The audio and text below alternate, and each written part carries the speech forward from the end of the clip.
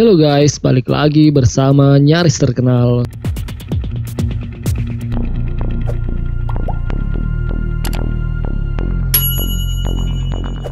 Negara super tajir di Asia Tenggara yaitu Singapura tak bisa dilepaskan dari masalah keterbatasan lahan dan ruang udara untuk urusan alutsistanya. Maka tak mengherankan bila detasemen pelatihan untuk pilot jet tempur pun harus dilakukan di luar negeri.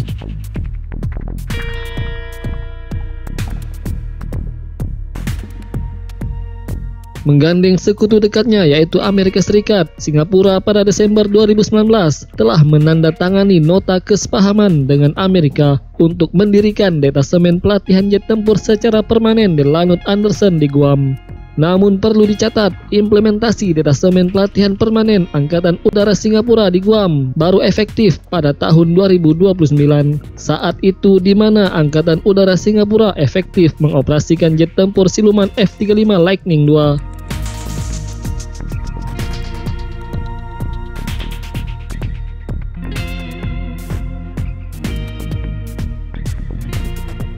Sebagai informasi, Singapura telah mengorder 4 unit F-35B dengan opsi untuk menambah 8 unit lagi.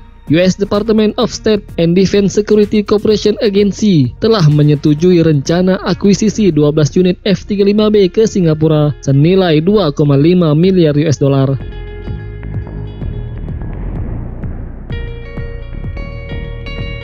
Selama ini program pelatihan pilot tempur Angkatan Udara Singapura dilakukan di Lanut Luke, Arizona.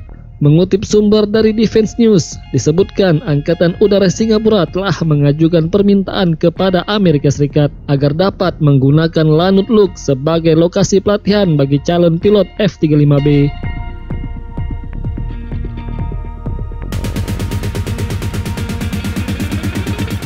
Bersamaan dengan itu, Singapura juga meminta agar Lanut Luke dapat digunakan sebagai lokasi penyimpanan stok armada F-16 yang tak digunakan lagi.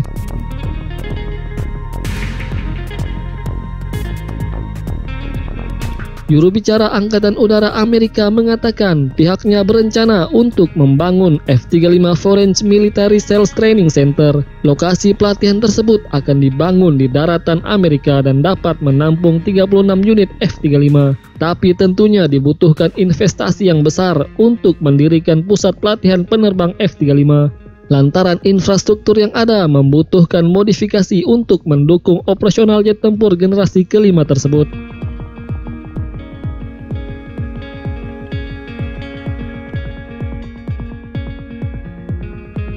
Selain detasemen pelatihan Angkatan Udara Singapura di Lanut Luke juga ada detasemen pelatihan Angkatan Udara Taiwan dan keduanya harus pindah nantinya. Bila detasemen pelatihan F-16 Angkatan Udara Singapura akan pindah ke Lanut Anderson di Guam, maka detasemen pelatihan F-16 Angkatan Udara Taiwan akan pindah ke Arizona Air National Guard Base di Tucson, Amerika Serikat.